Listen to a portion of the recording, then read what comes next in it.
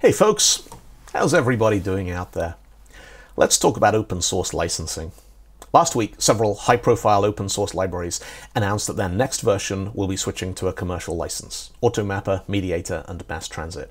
They're not the first libraries to do that, and they won't be the last, but the community reaction was well, yeah, you can probably guess. People don't like it when you take away free stuff.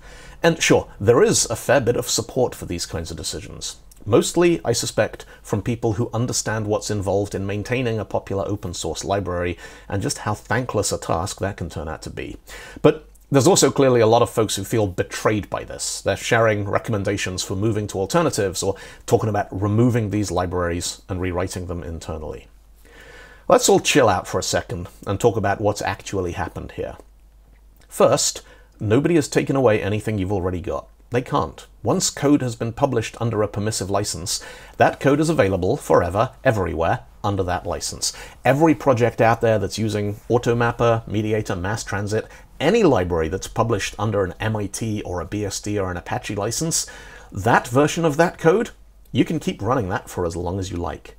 Now, this is where some folks jump in and say, yeah, but what if our build process updates to the latest version without us realizing and then we get sued for using unlicensed software?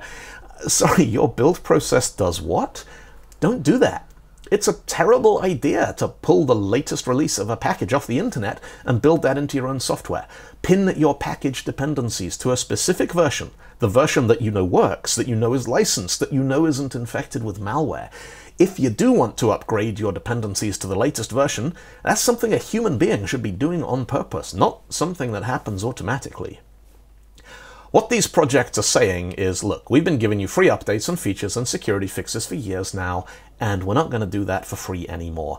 And I think that's fine. I hate to break it to you folks, but if your business is only sustainable as long as total strangers keep on providing free maintenance for all the packages that your product relies on, you don't actually have a sustainable business. Now, Let's say that you do have a code base that uses AutoMapper or MassTransit, or maybe the last version of Fluent Assertions before that switched to a commercial license. What are your options? Well, one, you can make sure your build is pinned to that version, and then do nothing. Whatever that code did yesterday, it'll do today and tomorrow, and it'll keep on doing it for probably way longer than you think sooner or later there might be a critical security vulnerability, at which point you'll need to figure out what to do about it. Or you might find you really, really want to use a feature that's only available in the new version, at which point you just make a business decision. Do you pay for the time it costs to build and support the feature yourself, or pay the money it costs to buy a license for the version that already has it? Incidentally, if you really want to do nothing, you'd probably better grab your own fork of the source code to that version and maybe cache the package binaries as well.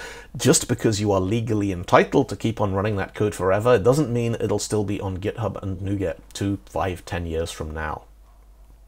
Second, you could pay for it. I know, it sucks trying to explain to your boss that you need more budget to pay for a thing that they have never heard of and they don't understand what it does.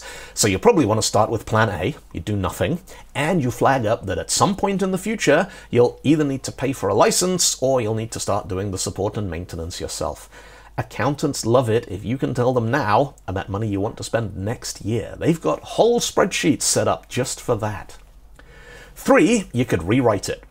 At a superficial level, most of these libraries are not that complicated. Yeah, you probably can knock up something in a couple of days that replaces the specific places where you are using AutoMapper or MassTransit, especially if you use something like Copilot to churn out the code. After all, these are mostly solved problems. The code to implement them is freely available online, and one of the things that AI tools are actually pretty good at is recycling code they found online to solve a problem that's already been solved. But if you're going to accept that you're on the hook for all future updates and maintenance anyway, why not just create your own private fork of the version of the code that you're actually using, roll that into your own code base, and work forward from there? You get all the benefits of building on a mature code base. There's probably a dozen weird edge cases you haven't hit yet, which that code has already solved, and you're still going to have to update and maintain it yourself, but at least you're not starting by reinventing the wheel. Or, you could fork that same codebase and start your own open source project. Go on, you could call it Open Mapper. And for a couple of months, it'll probably be really, really exciting. You'll get GitHub stars and NuGet downloads and maybe even pull requests with cool new features. And if you're really, really lucky, your employer will go, yeah, great idea. Instead of paying for a license, we'll publish our own open source version and you can work on it on Friday afternoons and everybody will love us and think that we're awesome. That might even work for a year or two. But then, you know, life happens. Your company shifts focus. Suddenly there's no justification for spending time maintaining Open Mapper anymore. Or you get a new job. And now the thing that used to be a fun Friday afternoon side project has turned into you spending your weekend triaging GitHub issues filed by angry people who hate you. Eventually, you'll start wondering how you can get paid for all the hours you're putting in. And look at that! Now you're the enemy and everybody on Reddit is accusing you of doing a rug pull and betraying the community. As a brief aside, there is one tiny minority of people involved in this whole situation who I think are entirely justified in their protest, and that's the contributors. If I'd spent my own time contributing code to a project in the expectation that I was helping to improve something which would always be free, yeah, I'd be upset. And if I hadn't signed any sort of contributor license agreement, I might be wondering what my options were, since legally I would still be the owner and copyright holder of the code I contributed, code that is now being sold by somebody else under a different license than the one under which I published it. But the sad fact about open source litigation is if the people violating your license terms are big enough to be worth suing, they're probably big enough to win and make it hurt the whole time they're winning. So I don't think we're going to see any kind of landmark legal precedent about this stuff anytime soon. Folks, free software, open source, whatever you want to call it, it's a wonderful thing. It is somebody saying, I have worked very hard to solve these problems. Here's my solution. Here's the result of all those hours of hard work and debugging and troubleshooting. Here is the code that makes it work. You can run it, you can modify it, you can study it, you can sell it, you can do anything you like with it. And I don't expect anything in return. And I find it astonishing how many people out there think that isn't good enough. You shared this code, now you must support it forever for free. Your code doesn't solve my problem, fix it. How dare you even raise the possibility that at some point in the future you might want to get some sort of remuneration for your hard work? I've said this before, I'll say it again, I'll keep saying it. People who share their source code do not owe you anything. You get the code, you get the freedom to run it and study it and modify it, and that's it. And if that's not enough for you, then it's up to you to figure out what you want and how to get it. Pay for a license, maintain your own fork, hire somebody to maintain it for you, switch to a different package. That's your problem.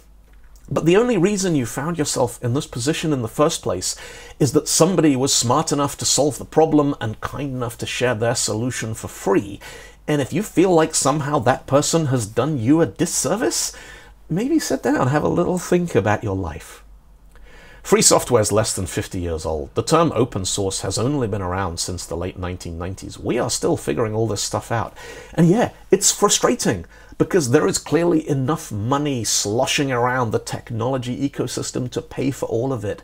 If we could figure out how to take the actual cost of maintaining the stuff and divide that cost equally between all the people who benefit from it, We'd all be paying a few bucks a month for open source, just like we do for Netflix and Spotify, and projects like AutoMapper would be making enough from subscription revenue that they could add the features, fix the bugs, write the docs, give it all away for free, and not worry about it.